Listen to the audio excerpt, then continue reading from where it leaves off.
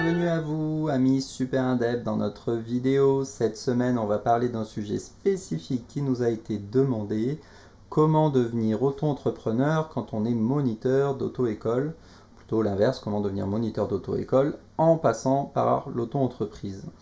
Alors on va regarder dans un premier temps comment est-ce qu'on devient moniteur d'auto-école, puisqu'il y a un certain nombre de critères et de diplômes à avoir.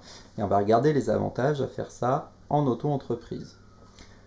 Comment est-ce qu'on devient moniteur d'auto-école indépendant? Il faut respecter un certain nombre de critères. Il faut avoir plus de 20 ans, il faut posséder le permis B et il ne faut pas avoir subi de condamnation grave au niveau du code de la route.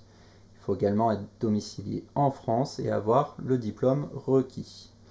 Quel diplôme? Eh bien, vous pouvez avoir le CCPE-CSR, certificat de compétences professionnelles pour l'enseignement de la conduite et de la sécurité routière, le CAPEC, certificat d'aptitude professionnelle à la conduite des véhicules terrestres à moteur, ou le CAPP, le certificat d'aptitude professionnelle et pédagogique, ou le BSAT, donc brevet spécialiste de l'armée de terre. ça, vous comprenez bien que c'est si vous passez par l'armée, mais du coup, ça peut être intéressant en cas de reconversion.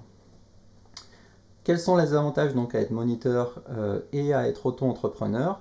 Bah, Du coup, vous n'aurez pas de lien de subordination avec un patron, vous avez une certaine flexibilité en tant qu'indépendant sur vos horaires, vous aurez a priori une meilleure rémunération.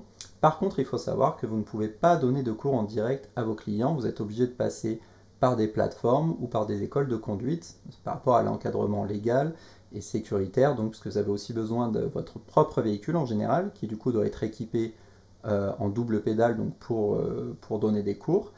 Et c'est d'ailleurs pour cette raison que c'est très intéressant pour vous de très rapidement vous mettre à la TVA, donc pour pouvoir payer votre véhicule hors taxe et éventuellement récupérer euh, la TVA donc sur vos frais professionnels. Donc ça on en a parlé dans la vidéo sur la récupération des frais professionnels.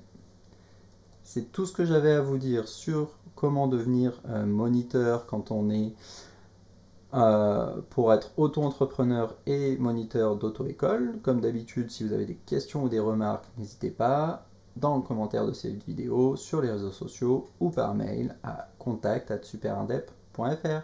Très bonne journée.